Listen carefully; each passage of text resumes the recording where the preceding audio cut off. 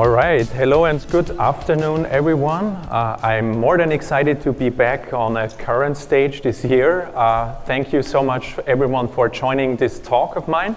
I want to talk about four uh, selected patterns which uh, have proven to be quite useful uh, to me in the past whenever I was working and operating in the context of uh, event-driven systems. A few brief words about myself. My name is Hans-Peter Grahsl. I work as a developer advocate for Red Hat for about a year now.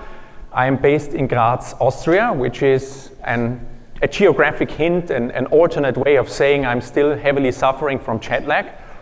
Um, I try to be an open source uh, community uh, member, an active open source community member next to my day job and next to having family and kids. I'm quite fortunate and, and thankful that some of the stuff I was doing, mostly at the intersection of the Apache, Kafka, and MongoDB communities, re received also some, some community recognition. Um, you, you, can find me on Twitter. I think it's also the easiest way to, to stay in touch and stay connected um, after that in-person event. So if you want to uh, do that, feel free to follow me there and, and, and have some discussion anytime. Uh, enough about me. Let's take a quick look at today's agenda. Uh, we are mainly focusing on the following four patterns here. We start uh, to learn about the claim check pattern. We will then continue with the content enricher pattern. I will then uh, switch uh, to the message translator pattern and finally explain uh, the outbox pattern. The idea is that for each of these four patterns, I am basically using the same structure. I will first try to frame the challenge and how the pattern in question is uh, helping us to address certain challenges in that uh, regard. Uh, then we are going to discuss a basic hypothetical use case, how we could apply those patterns. And, and finally, the idea is that I show you a, a, a quick demo scenario even for each of those four uh, so that we understand how we can implement those patterns with a specific set of technologies in the context of Apache Kafka. Um, before starting with the first pattern, just let's take a little step back uh, and uh, because it's important to clarify some terminology. Whenever people talk about event-driven architectures, the question is what do they really mean when saying that? And, and on a very high level, this is quite simple to describe. Uh, it's all comes down to designing loosely coupled applications or services, and those applications and services uh, tend to communicate with each other based on the sending and receiving of events. The decoupling itself is what we achieve typically by uh, putting some intermediary in between uh, the communication flows, meaning some messaging infrastructure or some uh, event streaming platform such as Kafka. To make that a bit more concrete, there is a really good article and also a, a, pretty good talk by industry giant Martin Fowler. Some of you may know that talk. And in this talk, he basically distills four different flavors of uh, event driven systems. He talks about event notification, he talks about uh, event carried state transfer. He also explains the ideas behind event sourcing, and finally, he mentions CQRS, the letter which is usually combined with one of the other three uh, above. When I say event driven in the context of my talk, and also uh, this is what we are going to see later, uh, I mostly refer to the first two types. So we are going to see basically a mixture, some kind of hybrid between event notification and event carried state transfer mostly. Irrespective of the actual flavor of EDA that we are, we are dealing with, uh, there is one vital aspect they all have in common, one thing to rule them all. Uh, and yes, you probably guessed that correctly, this is events. Events are ubiquitous. Uh, without them, there would be no such architectural style uh, in the first place. Now, there is tons of good material out there giving good guidance and recommendations about the do's and don'ts, how to design different event types, um, how to structure payloads, um, why schemas are extremely vital to, to use and attach to your uh, event payload so that you can validate those, and also uh, why um, in the end, um, it's, it's important to understand that the different ways that you use to communicate those events uh, across your systems. My talk is not going to cover any of that, um, and um, uh, instead I try to uh, highlight one crucial aspect here. Uh, and that is that no matter how hard we try, no matter how uh, far we bend and stretch ourselves, we will essentially never be able to come up with something that could qualify as the perfect event payload. Even if we could fulfill uh, all the requirements of any downstream application with the events that we design today, we, we might not be able to address the potential different needs of uh, the consumer apps that might pop up tomorrow. So even if we are uh, tempted to seek bullets of silver in how to design events, how to communicate those events, uh, at the end of the day, all we're going to find is trade-offs.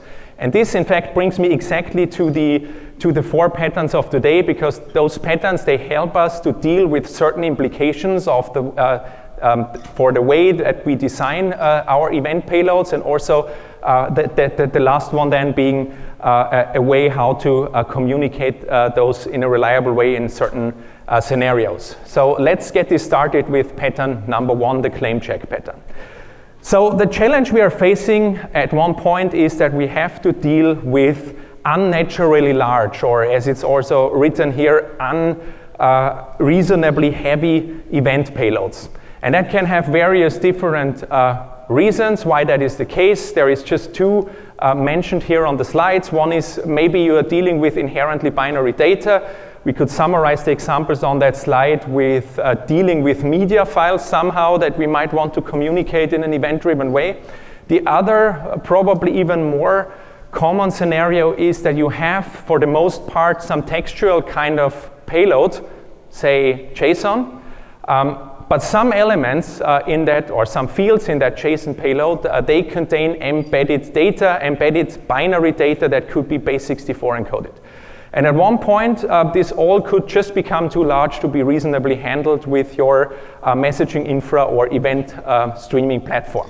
And the question is, what do you do then? Um, and the, what the claim check pattern suggests is that you try to find a way to externalize large payloads or at least parts of those large payloads to some other storage system. So it's about offloading binary payloads to separate storage. An example could be S3 um, that you use uh, in order to uh, store the actual data, and then you use uh, the S3 URL as the claim check you replace the original payload, you just take that uh, claim check into the payload, and then you communicate that as your event. So on the downstream side of things, whenever some consumer wants to really work on the actual data, you would need to resolve that claim check, basically trade that claim check for the actual data against your uh, separate storage system that is uh, isolated from your messaging or event streaming infra. So the way this could work here in a a pretty, uh, again, hypothetical scenario. All those scenarios are explained now within the context of Kafka, Kafka but you can imagine that you can use uh, any different technology stack for, for implementing those patterns that I'm showing here. So the first is a, a, hypothetical kind of media processing pipeline, which uh, the idea is again to communicate images somehow in an event-driven way. And now the claim check pattern suggests that we, instead of sending image data to Kafka and trying to squeeze and tweak and tune it for handling large messages, we take the payload, we store the image elsewhere. In my case, it will be Minio, because uh, it's easier to, to, to run that in a self-hosted way. And then you use that claim check, you put that into your Kafka records value, and you send it along uh, into a topic. Uh, on the consumption side of things, the consumer that wants to do some image processing, maybe you want to detect something in that image, you want to, I don't know, identify faces or whatever it is that you want to do with that image data, you will then need that claim check, and you would call out to the storage system S3 uh, to um, load the actual data, and then you could do your processing. So let's uh, take a look at how this example that I just described can, can, can work uh, in practice. And for that, I'm going to take my uh, sample repository here, and I, we are going to deploy a bunch of Kubernetes resources, right? So fingers crossed that all those demos are working. We are going to deploy a bunch of YAML manifests, and I am deploying against um, the OpenShift developer sandbox here. There is no more screen, yeah, it comes back. That's at least the good side of things. So let me go to my, to my um, web console in OpenShift. Um, and what we see here, we, we see the infrastructure elements on the right, right? We have Kafka here, we have Minio here uh, for doing the externalization. And then we have uh, our, in this case, an application that just randomly draws uh, from predefined images and wants to send those images to a topic. The way this works here is it will use a special serializer. That serializer will offload the actual image data to MinIO. Um, and whenever the consumer um, tries to work with that data, uh, it will do the reverse thing. It will load the Kafka record. It will realize, hey, the value contains a storage identifier, and it will load the actual image from the Kafka topic. So let's see the logs to see if something is going on here. So we see that here um, pictures are randomly sent, uh, and, and the payloads are externalized against S3. Um, let's quickly verify that here. Um, let me, for that purpose, uh, go to the topology view again, and let's open up MinIO so that we can verify if something is actually stored there or not. So this brings up MinIO. Um, and I, once the console is up, I can log in. MinIO one, two, three. Very secret password, right? Obviously I mistyped. Let me see. Yeah. And here we have our bucket, and here in that bucket we have that externalized images. You see a few hundred kilobytes, maybe some are more than a megabyte. Let's just verify that. Let's take any of these, download it, and see if we actually have a picture. Hopefully nobody feels offended by a picture that is coming up now. I have no idea what it is. But yeah, that's it. So that's real images that we externalized here. And again, the way this works here is it uses a special serializer. It's a standard Kafka producer app written in Java Special serializer that is open source called a large uh, message serializer, open source by a company called bakdata, and it uh, takes the responsibility of doing that payload externalization against the storage system. The consumer then will, if we verify the logs, it will retrieve the Kafka record it will load the image data and execute some business logic. We don't have real business logic here, so what it does is extracts the size and it extracts some metadata like the width and height of the image, but you get the idea you could do some actual processing based on that data. For some reason, the, whenever I go here, the screen is turning black, but I try to avoid uh, uh, moving my foot uh, into that. So uh, here we are, uh, and what the question is, what does a normal consumer that is not aware of those things see? And here, I, to, to illustrate that, I have just a normal console consumer, and that console consumer then um, shows quite nicely that a normal consumer just sees uh, Kafka record keys and the values, and the values being those S3 storage URLs for the actual uh, image that has been externalized. That's uh, the whole idea basically behind a simple application of that claim check pattern in the context of Kafka using a special uh, serializer in that case. With that, let me go back to the slides, or in fact, first I'm going to uh, destroy that infrastructure so that we have a clean namespace for the next one that's coming up. Um, and so with that, we can go back to the slides and we can start to look into the second pattern already. So the second pattern, once it comes up, it thinks about it, is the content enricher pattern. And here we, as a challenge, we face pretty much the opposite of what we just discussed. We have sometimes uh, the problem that the events do not contain enough data for uh, specific consumers that we have. This means we have unnaturally light, unnaturally uh, or unreasonably small payloads, Payloads are lacking additional details. We most of the time are missing some contextual information. Uh, and for certain consumers, that might be fine as is. For others, they want to have more information. Think about a very compact notification event that you communicate, and in its most puristic form, a, notification event contains nothing but an domain entity's identifier. And then what would you do with that without loading actual data for that identifier from somewhere? And instead of, you know, uh, moving that burden to, to a consumer, uh, we could do that upfront and enrich that message so that the consumer that wants to have that contextual information in addition to the uh, other stuff that's already in the payload, we can use uh, the idea of content enrichment.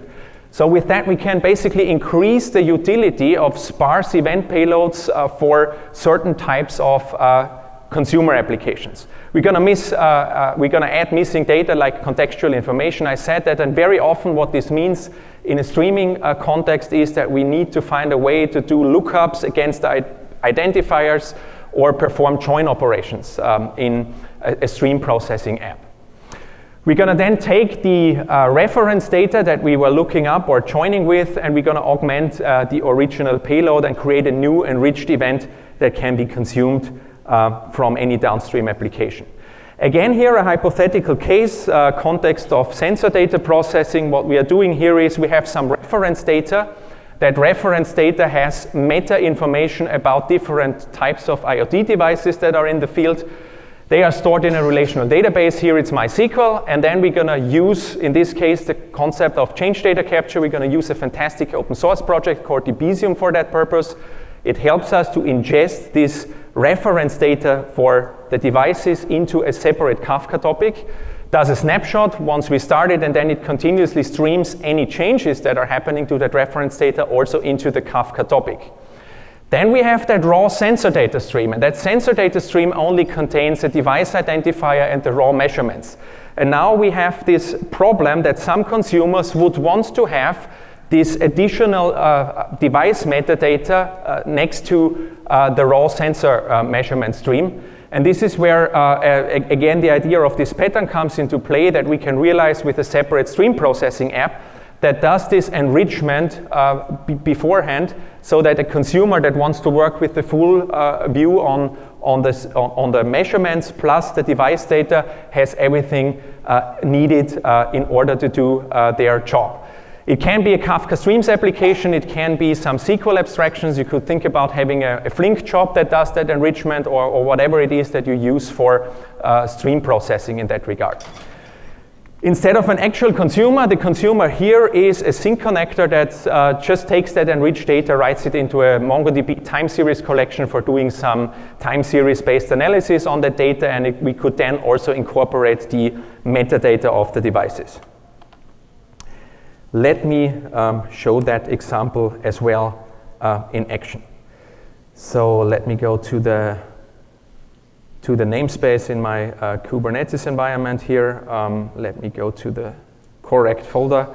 And then again, let's apply, let's apply the manifest for that example here. Um, and again, it, it, spins up a bunch of, of, of things uh, in that cluster, and we are going to inspect that one by one, what's happening here.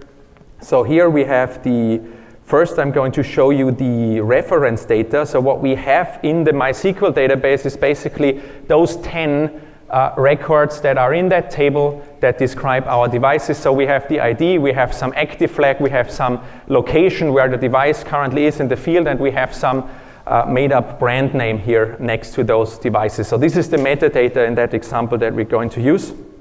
And by now, let me check if the if the example is up and running, I rearrange the UI a bit so that we can again better see what's going on here. Let me fit that to the screen. So again, on the left, we have the application side of things. On the right, we have the infrastructure components. We have again Kafka, we have Kafka Connect, we have our two databases, MySQL and MongoDB here. And again, this Connect, uh, this Connect instance will run uh, a Debezium source connector for MySQL uh, read that device data, bring it to a Kafka topic.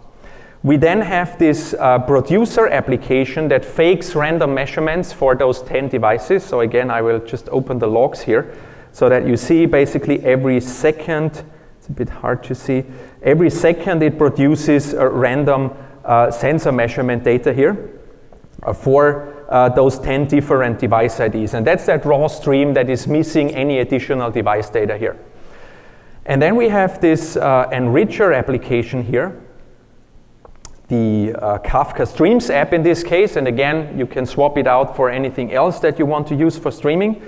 Um, and that uh, ta the task of that app is to take now for every incoming raw sensor data measurement, it needs to create an enriched record. So basically, it's going to do that join over that device ID between the uh, enriched. And again, I'm trying to zoom in a little bit here um, to, against the device uh, metadata. Let's do it like that. And you can see it better.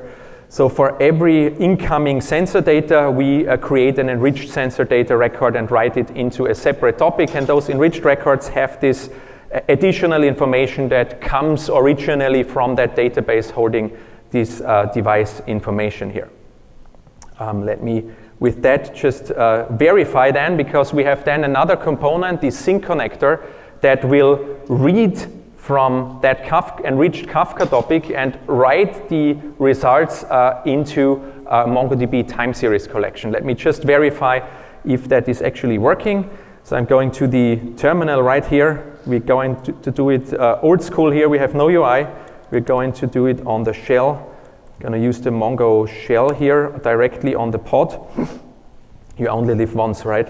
Use IODDB, um, db get collection. Get, if I can type here, get, get db get collection, something like this, yeah. Sensors TS is it called, I guess, sensors TS, and then we're gonna do a find one here, and we should see that enriched sensor data uh, coming to that, and again, let me expand that so you better see that.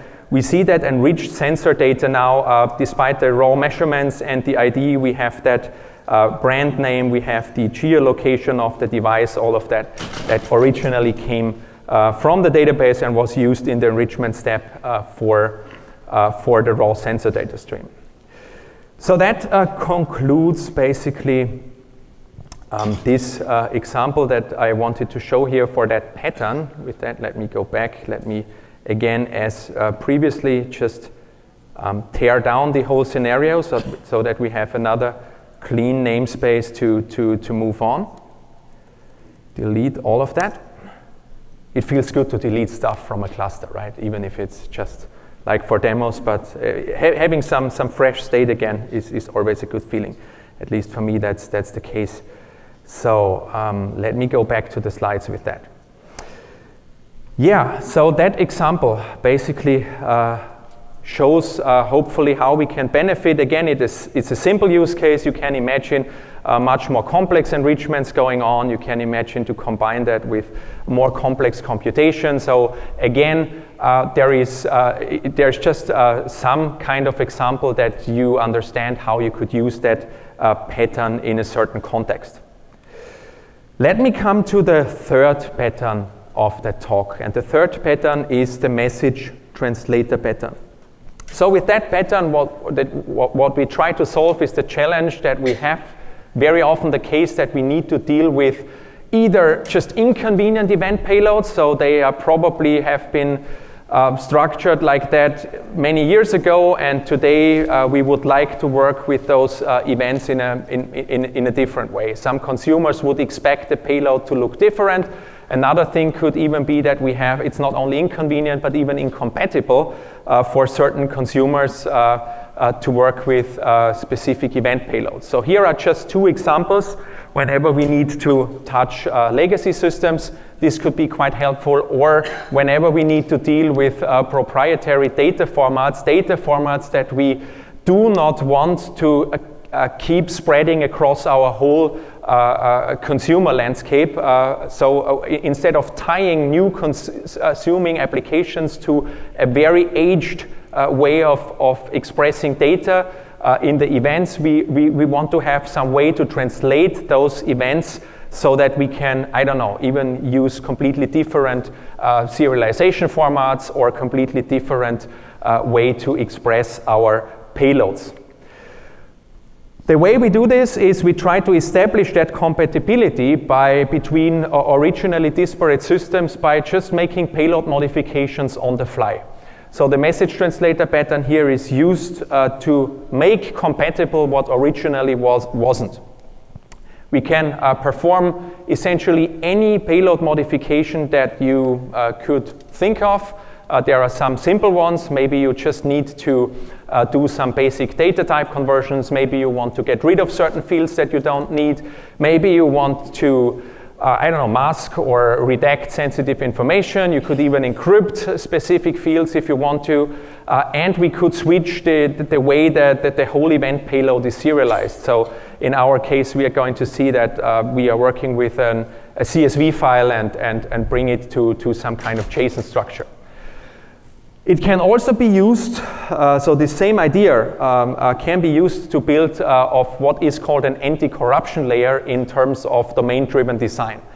Um, so whenever you think about communicating data outside of a bounded context, it's usually a bad idea to try to do that in a one-to-one -one fashion because it would mean you would leak your internal domain model to the outside world. And this is very often not what you want to do, or it's, in fact, in almost every case, this is not what you want to have because it would again mean that your consumers would start to rely on that kind of contract and you would have a tough time to modify uh, the internal data model that would immediately be reflected to the outside world. And so you use that idea of a message translator pattern to, uh, to have that anti-corruption layer and to have a separate representation of your data um, to the outside world. One example is uh, using change data capture. If you think about change data capture, you capture your database, uh, and if you don't do anything, you basically expose the data model in, in, exactly the same way that it is currently looking in your database, and all your consumers will start to work with exactly that uh, data model. And if that data model changes, problems will start to arise. Uh, so here, whenever you do CDC and, and, and, and, want to serve many different consumers that are, are living in their own kind of uh, uh bounded contexts, uh, ideally you transform that CDC payload in flight so that you don't suffer from that problem. Here, uh, the example is as follows, again, related to Kafka, like all four examples are. Uh, we try to uh, do that message translation, in this case, with Kafka Connect only. So um, we can use uh, source connectors in order, for instance, here we have a hypothetical case of point of sales record data that is written into files that are stored in some storage. Uh, the details here don't matter. In, in this, uh, it could be any kind of storage uh, proprietary CSV files that you cannot uh, use as is in order to feed them into a, a, target web service that expects a very specific payload structure on the other end. And so we're going to use uh, Kafka Connect here. We have file uh, source connectors. We can use those to read that CSV. All of those CSV records will be written from, from various different files that it finds in some storage location. And on the fly, we are going to apply certain uh, translations. So uh, they are called uh, transformations or single message transformations to be precise in the context of Kafka Connect. We can use those in order to make those payload uh, modifications that I was referring to. In addition, we can switch the uh, serialization format. So we can move from, uh, from a CSV structure to JSON we can rename those fields in exactly the way that the uh, target web service is expecting those. And then what we ingest into the Kafka topic is a payload that is uh, already um, working as is for uh, the target application. In this case, the idea is that we post all of those uh, point of sales records against a, a web service and uh, for that, again, we can use uh, as an HTTP sink connector that takes those JSON records. And in addition, what it allows us to do is we can buffer multiple of those together such that we don't send a post request for each and every single record. So you can think of uh, smaller batches, say up to 10 such uh, uh, point of sales records that the API can uh, process with one HTTP call. That's the idea behind that message translator pattern. Again, let me uh, show that uh, scenario to you in action um, so that we have some uh, things going on here that we can uh, investigate a bit uh, further. So first, what we're going to do is I'm going to bring up again, make sure that I'm in the proper folder, and then I'm going to bring that up real quick.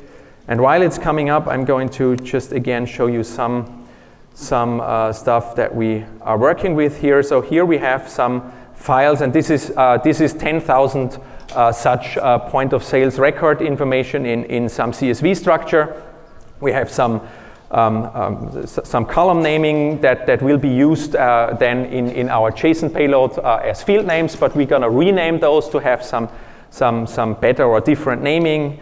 Uh, we're going to throw away some of the fields that we don't need, and, and, and we're also going to parse those numeric strings uh, to real uh, numeric data types, and also the booleans will become uh, boolean types and stuff uh, like that is going on for each uh, record that is processed from, from that file.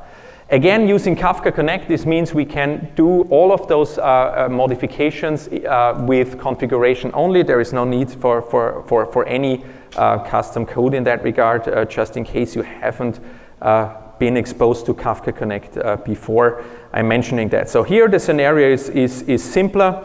We have on the left-hand side the infrastructure components. We have Kafka and Kafka Connect again. We have then this application that represents the target service that we're going to feed those uh, uh records into by means of HTTP post calls. And we have the connector that uh, processes those records. So here we just have a consumer that shows us how the resulting JSON records are looking like. So we have seen the, so here we are, we have seen the CSV structure and we see that we go from, I just take one of that out real quick. We can go from, from that CSV structure to something like this. Um, and, and, this is that message translation uh, that is happening in this uh, simple scenario right there. And then at the end, the idea is that that sink connector, and let me verify that uh, real quick uh, as well, the sink connector should then receive those um, as uh, batches of up to 10 records and here we just see the console logs of that application and, and indeed we mostly get 10, sometimes we get less so it's at most 10 records that we are receiving and again instead of some actual processing on the data we just like log it here for uh, the purposes to see the whole uh, data flow end to end. Yeah, that concludes uh, the message translator pattern. So we are moving to the fourth and final pattern already, and then maybe we are lucky and even have some time for, for questions. Let me see if I can manage to do that. Outbox pattern. Uh, the first three that I'm showing, uh, that I was showing, were mostly uh, referring to, let's say, challenges that we have with the event payloads uh, themselves. The final one is different. This pattern focuses more on the communication side of, of, of events. And the challenge that we very often have, uh, you would be surprised how often this is really happening. I see that um, over and over again in the wild, and it always gives me some, some goosebumps, uh, the, the, negative ones. Um, because uh, what, uh, what the challenge that we face here is that we try to up, consistently update two different uh, data systems, um, and we want to do that in a consistent way. And the problem is some people immediately think, oh yeah, I will use something like distributed transactions, which if you have ever used them uh, yourself, you know they are coming with their own caveats. And irrespective of that, sometimes there is not even the option to use something like an XA transaction because the system, the, both systems that you want to work with uh, may not uh, support them uh, in the first place. So one uh, common example that we see in event-driven architectures are microservices that uh, write to their own database that is backing the microservice in question. And in addition, they want to communicate some facts about the stuff they have just done and persisted uh, over some messaging infrastructure. So meaning we want to add and uh, want to send events uh, to a Kafka topic. And if we do that with two separate writes, the problem is that we suffer from something called a dual write, and this will lead to inconsistencies. So the outbox pattern allows us to avoid that a dual write issue in the first place by focusing on just one of those resources. And in most cases, this is, of course, the database that you are working with that gives you uh, proper ACID, um, ACID transactions. And what you're going to do is uh, you are going uh, to start a database transaction. You are going to make your uh, data changes as usual. So you're going to change the domain data. But in addition, and in the same transactional context, you will update your uh, event information and you write that into a table that we call the outbox table here. So this means either both of those things are happening or none of them because it might be rolled back.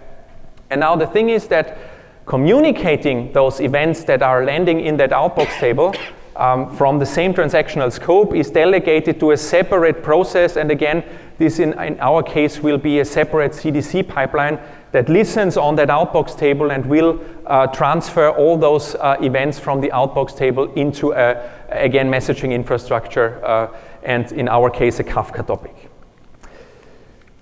The way this looks like is as follows. We have a very simple order service here, uh, persisting data to MySQL. Uh, it, it, has at least two tables that it, it touches for each of the transactions, an order and order lines table. And in addition, it will write to the outbox table and communicate the fact that it, for instance, persisted a new order or uh, the, the fact that it needed to change an order line and things like that. So you're completely free basically how you would uh, design this outbox table. There are some recommendations and examples out there that you can uh, draw from uh, to build your own one, but the structure of that table is, is essentially up to you. Um, and once you have that, uh, you know that you can consistently write, in this case, all three tables with all the changes that are happening, and then you are going to use CDC. In my case, I will use, uh, in the example, the Debezium connector again, that will listen only on the outbox table uh, events and propagate those into Kafka topics. And then any uh, consumer uh, that is interested in order-related events that are generated now uh, in a consistent way in the database and then eventually consistently written to a Kafka topic, uh, you can have any downstream consumer work uh, on that data um, then afterwards. Again, let me bring up the example. For that one, I forgot, I oh yeah, I forgot to delete that stuff. Let's do that quickly. Delete. Then let's go to the final one. And let's hope that it also deploys uh, properly here. So what we have, and I'm going to close what we don't need anymore, we have uh, the, I need to go back to that. Oh, I closed my, my cluster view, right? Developers sandbox. I mistakenly closed the tab, but bear with me, should be up soon. Yeah, so let's see what we got here. Yeah, we have the infrastructure. Again, on the right, I will make that a bit smaller. And then we have our order service here. Uh, we have a process that automatically creates some orders, two orders to be precise will be created uh, and then we're going to make some order line changes and all of those things will result in multiple different events being written into that outbox table from, in, from within the same application, within the same transactional scope. They will land in uh, that Kafka topic.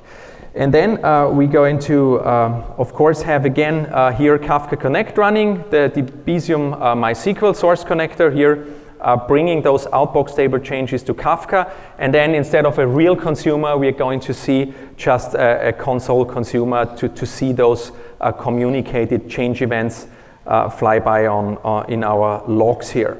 So let me verify if the orders creator script did something. Yes, the order service was up and then it made some uh, uh, REST requests. So what it did basically is it generated um, uh, let me show that to you. It generated um, this order with two order lines and another order with three order lines.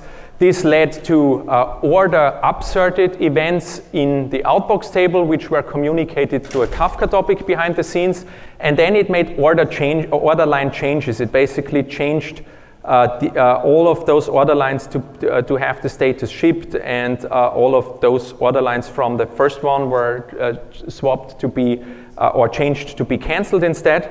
And so again, these order line change events were uh, created behind the scenes, and this led to a bunch of, of, of events, uh, ideally, that we should see now when we inspect the, the Outbox consumer logs here. And indeed, let me just uh, open one of those change events. So this is a typical uh, change event payload that as you would see it from uh, the Debezium. Let me just bring one into the editor because it's easier uh, to, to see what's going on here. So this represents one of those change events. The actual payload data coming from this outbox table is this one. Uh, the rest is additional information that in this case the Debezium source connector provides us with. Um, we're going to see the structure that uh, here is uh, the most interesting part is in our case here the payload that represents a full order. So we see uh, that this is uh, uh, basically the, the order as it has the order state uh, that we received when the order was placed originally and after we would do order line change events we should see updates also in this whole purchase order uh, aggregate type uh, uh, and order with the proper order upserted event. So we're gonna have a way when we do it that way that all of those events are communicated in a reliable and consistent way. That concludes this fourth pattern.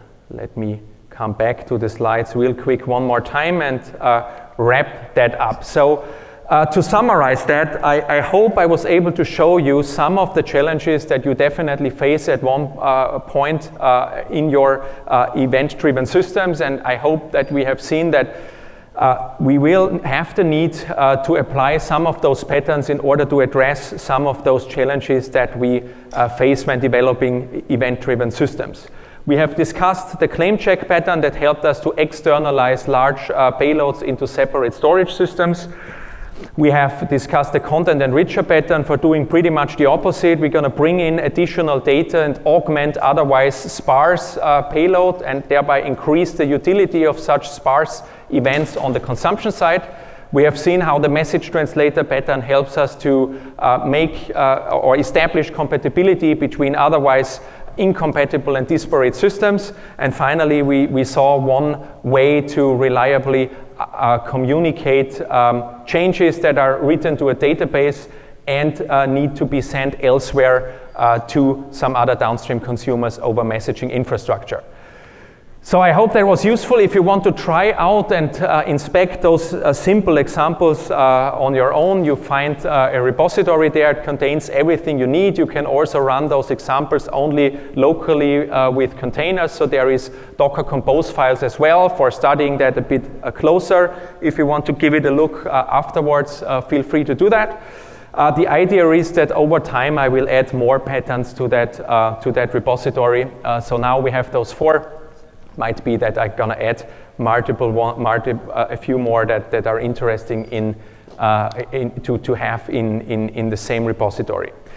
Just one note, uh, there is another talk by some of my colleagues tomorrow at 4.30, uh, again focusing on some parts that are interesting uh, to learn about. Uh, in this case, it will feature Strimzi, showing how you can run Kafka with operator uh, on top of Kubernetes, also showing again the idea of change data capture in a little bit more uh, in depth. Uh, so the, the, pretty, pretty cool talk by two of my colleagues.